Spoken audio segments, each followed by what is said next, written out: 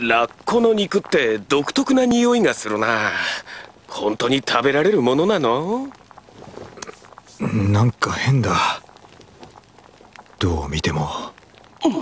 白石が色っぽい。杉本大丈夫か？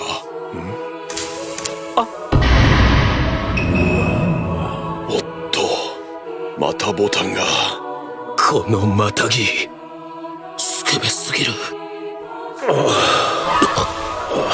頭がクラクラする。大丈夫か？尾形！横になれ！今すぐに！胸元を上げて楽にした方がいい。下も脱がせろ！いや全部だ！えてだ！耳噛まれた！よう久しぶり。黄色ランか 土方たちとは旭川ではぐれたままそれっきりだ。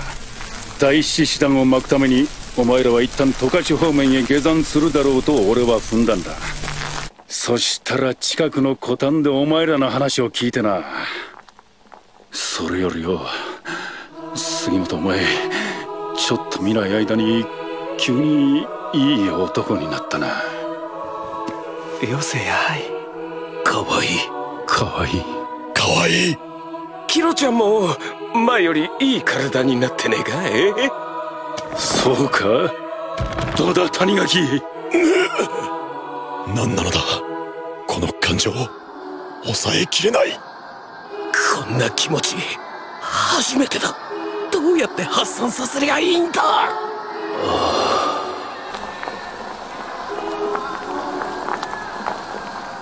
ダメだ。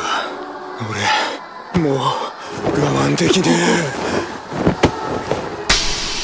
相撲しようぜ。なるほど。そうか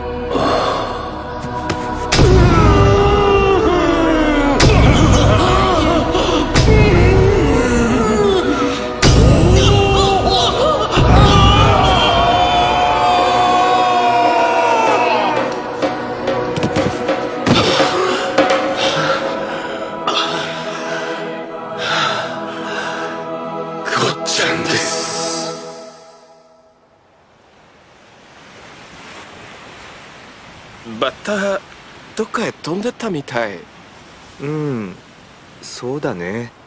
なんか盛り上がっちゃったな。誰にも言うなよ。うん